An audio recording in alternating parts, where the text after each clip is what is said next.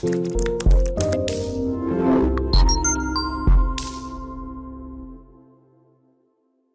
္ဂလာပါဒီချာတို့ if function ကိုသုံးပြီးတော့ဝန်ထမ်းတွေရဲ့အလုပ်လုပ်ချိန်ဝန်ထမ်းတွေ overtime အချိန်တွေကိုတွက်ချက်လို့ရမယ့်နည်းလမ်းလေးကိုဒီမှာ sharing လေးလုပ်ပေးသွားမှာဖြစ်တယ်အဲ့တော့ဒီမှာဆိုရင်ဒီဝန်ထမ်းတွေရဲ့နာမည်တွေပြီးရင်သူတို့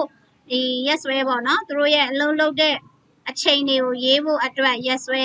ရှိမယ်ပြီးတော့ရင်အာဒါကကြတော့ဒီချာတို့သင်တန်းတွေမှာဆိုရင်နှစ်ချိန်ရှိတယ်အာဘယ်လိုပြောမလဲဆိုင်းရနှစ်ဆိုင်းရှိတယ်ပေါ့မနှစ်ဆိုင်းမနက်ဆိုင်ပြီးနေ့လယ်ထမင်းစားချိန်ပြီးတော့လို့ရှိရင်နေ့လယ်ရုံးတက်ချိန်ရုံးဆင်းချိန်ဆိုပြီးတော့မှ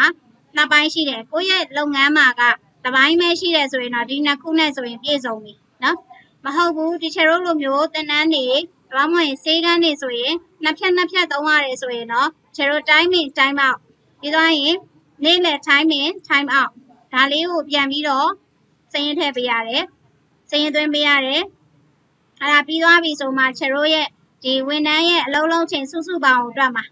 ဝန်ထမ်းရဲ့အလုံးလုံးချိန်စုစုပေါင်းကိုတွက်တာလွယ်လွယ်လေးပဲမနက်ပိုင်းဝန်ထမ်းထဲကထွက်တာကိုနှုတ်နေ့လယ်ပိုင်းဝန်ထမ်းထဲကအာ sorry နေ့လယ်ပိုင်းအထွက်ထဲကအဝင်ကိုနှုတ်လိုက်ဒါဆိုရင်သူတို့အလုံးလုံးတဲ့အလုံးလုံးချိန်စုစုပေါင်းထွက်လာလိမ့်မယ်ဘယ်လိုတွက်မလဲတွက်ကြည့်မယ် ဆိုတော့ဒီမှာညီမချင်းထိုးမယ်ပြီးတော့ရင်မနက်ပိုင်းထွက်တဲ့အချိန်တွေကနေပြီးတော့မှအနှုတ်ဒီဟာလေးကိုနှုတ်မယ် sorry sorry ချက်မှားသွားတယ်အလေးနော်မနက်ပိုင်းထွက်တဲ့ထဲကနေနှုတ်မယ်ပြီးတော့ရင်ခွင်းပိတ်မယ်အင်းပေါင်းမယ်ခွင်းလေးပြန်စားမယ် time out ကိုနှုတ်မယ်ခွင်းပိတ်မယ်အနာခောက်ချလိုက်မယ်ဒါဆိုရင်ဒီမှာ အင်းဒီမှာ auto fill နဲ့အောက်ကိုဆက်ချလိုက်တယ်ဆိုလို့ရှိရင်သူတို့ကဒီဝန်ထမ်းတယောက်ချင်းစီရဲ့အလုံးလုံးချိန်ကဒီမှာတစ်ခါတည်းထွက်လာလိမ့်မယ်အဲ့မဲ့ဒီချေတို့ကကျတော့ဒီအချိန်ကိုကြည့်ပြီးတော့တွက်လို့မရဘူးအဲ့ဒီအချိန်ကိုကြည့်ပြီးတော့ overtime အချိန်ပြီးတော့ထုတ်ပေးရအောင်ပါဟုတ်ပြီနော်အဲ့တော့သူ့ရဲ့အလုံးလုံးချိန်ကိုအရင်ဆုံးခွဲလိုက် regular time ကိုအရင်ဆုံးခွဲလိုက် regular time ကိုခွဲလို့ပိုတဲ့ဟာကိုမှ overtime မှာသွားပြီးတော့ပြမှာဟုတ်ပြီနော် အဲ့တော့ကိုက regular time ကဘယ်နှစ်နာရီလဲဆိုတာကိုတီးသန့်တော့သိဖို့လိုတယ်ကိုယ့်ရဲ့လုပ်ငန်းခွင်က regular time က8နာရီလား10နာရီလား9နာရီလားသတ်မှတ်ထားတဲ့ regular time ရှိတယ်အဲ့ဒီ regular time နဲ့သူအလုံးလုံးထားတဲ့အချိန်နဲ့ကိုစစ်လိုက်စစ်လို့ပိုတယ်ဆိုလို့ရှိရင် overtime သတ်မှတ်မှာမပိုဘူးရော့နေတယ်ဆိုရင်သူ့ရဲ့ regular အတိုင်းပဲသူအလုံးလုံးတဲ့ hour work အတိုင်းပဲယူမယ်အဲ့ဒီသဘောမျိုးပြောလိုက်တာနော်နည်းလေးရှုပ်နိုင်တယ် အဲ့တော့ဒီချက်ရက် regular တိုင်းကိုစစ်မှာဘာနဲ့စစ်မှာလဲဆိုရင်သူအလုံးလုံးထားတဲ့အချိန်က regular တိုင်းနဲ့ညီလားဒါမှမဟုတ်ရင်ကြီးလားအဲ့လိုမေးမှာတကယ်လို့ကြီးနေတယ်ဆိုရင်ကြတော့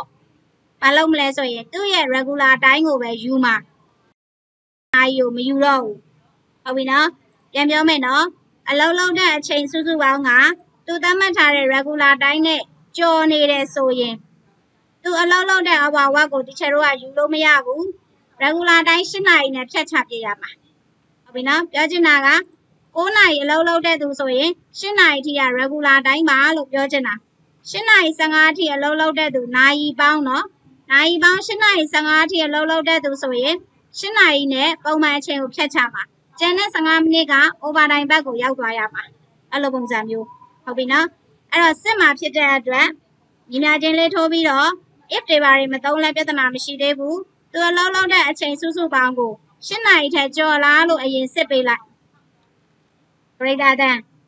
8နာရီဆိုတော့8နာရီအနာခံလိုက်မယ်၈နာရီကိုဆရာဒီလိုမရိုက်ထဲတော့ sorry ဒိတ်သားတန်ဒီ၈နာရီကိုယူလိုက်မယ်ကင်းလောချခဲ့မယ်နော်အနာခောက်ချလိုက်တယ်ဆိုလို့ရှိရင် ၈နာရီထက်ကြော်တယ်ဆိုပြီးတော့မှ तू ကအဖြေက true ထွက်လာလိမ့်မယ်အဲ့တော့ဒီချက်တော့၈နာရီထက်ကြော်တယ်ဆိုရင် overtime သတ်မှတ်ရမယ်အာ sorry sorry ၈နာရီထက်ကြော်တယ်ဆိုလို့ရှိရင်၈နာရီအတိုင်းပဲထားမှာ၈နာရီမကျော်ဘူးဆိုရင်တော့သူ့ရဲ့အလုပ်လုပ်ချိန်9နာရီခွဲဆိုရင်9နာရီခွဲထားမှာ6နာရီဆိုရင်6နာရီထားမှာအဲ့ဒါကြောင့် if function ကိုသုံးတာ true false နေရာမှာအဖြေတစ်ခုသတ်မှတ်ချင်တာဖြစ်တဲ့အတွက် if function ကိုသုံးတာဟုတ်ပြီနော် ဆိုတော့နှစ်ချက်နှိပ်မယ်အရှိမကာစာချမယ် if ဝင်စားမယ်ဒီအဖြေလေးကပေါ့နော် true ဖြစ်တယ်ဆိုရင်သူ့ရဲ့နာရီကိုပဲယူမယ်လို့ပြောလိုက်တာလောချခဲ့ comma မဟုတ်ဘူးဆိုရင်တော့ဒီ hour work ကိုယူမယ်လို့ပြောလိုက်တာဝင်ပိတ်မယ်အနာခောက်ချမယ်ရောဒိုဖိလေးနဲ့အောက်